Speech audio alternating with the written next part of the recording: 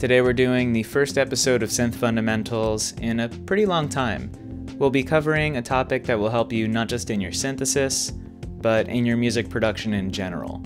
And that's gain staging, which is the management of amplitudes across your signal chain. This should also answer a pretty common question that I get, which is why do some synthesizers have multiple overdrive stages? The response that I normally see is that it allows you to get more overdrive and that's not quite correct.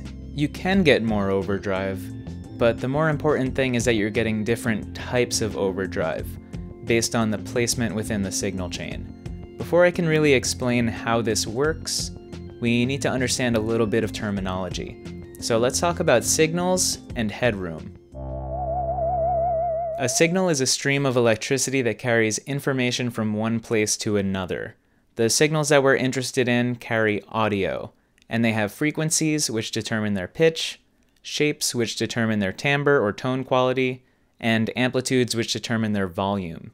Headroom is a maximum space allotted for amplitude, so it's essentially the hard limit on our maximum volume. Imagine that you're jumping rope in a hallway.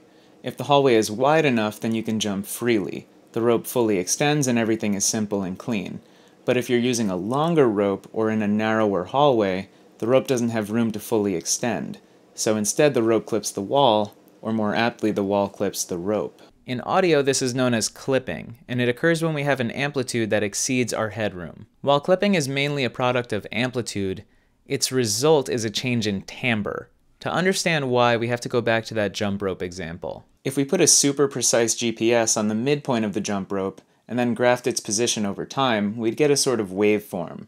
In the wide hallway, it would be pretty much a sine wave, but in the narrower hallway, we'd see flattening at the top and the bottom, as the extremes are forced to move along the wall instead of fully extending. So what was a sine wave becomes more of a square wave, and that sounds kind of like this. There are a few different kinds of clipping as well, and they don't all follow the exact same rules. Hard clipping is when the excess signal is lopped off at a sharp angle. Soft clipping is when the excess signal is squished to fit within the headroom. Wave folding is when the excess signal folds back on itself. Each of these sounds distinct from the others. Generally, clipping causes an increase in overtones, increasing harmonic complexity and brightness. And now we can finally talk about gain staging. Gain staging is the management of amplitudes throughout your signal chain. While this might sound relatively simple, it's much trickier than it sounds. Each component within your signal chain produces a certain base level of noise. This is known as your noise floor. So you want to input the maximum amount possible to maximize your signal to noise ratio. But if you input too much signal, you get clipping. This is the central tension of gain staging. If we input too little signal, we get a relative increase in noise.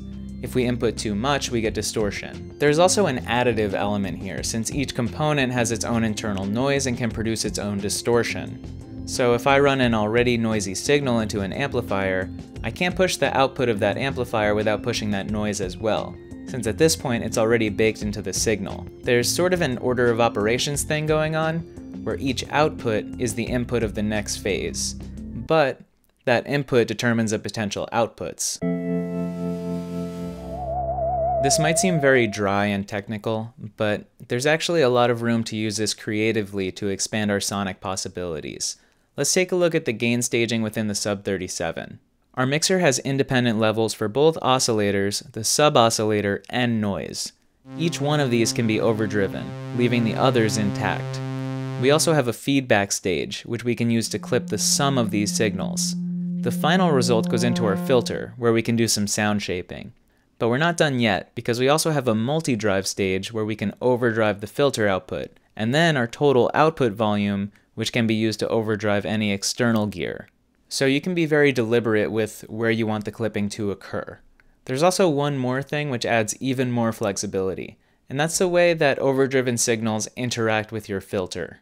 If we boost the resonance on the sub-37, we lose a lot of our low end. If we keep boosting, we eventually hit self-oscillation. But if we max out the headroom of the filter by overdriving in the mixer stage, it changes the way that our resonance behaves.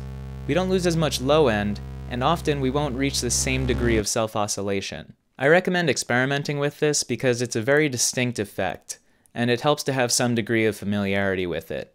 And speaking of self-oscillation, that brings us to a very particular quirk with post-filter overdrives, such as a Sub-37 multi-drive. Self-oscillation creates a sine wave, but by overdriving the filter you can add overtones to that sine wave, and push it towards a square wave. With careful gain staging, you can use this to add layers to your patches. So to go back to the question in the beginning of the video, why do some synthesizers have multiple overdrives? It's not about having more overdrive, it's about having different overdrive. Depending on where you clip and how you clip, you can get sounds that are qualitatively different. I hope this helps. If you like this video, like, subscribe. If there's anything you want to see in a future video, toss it in the comments below. I'm That Beet, this has been Synth Fundamentals. Thanks for watching.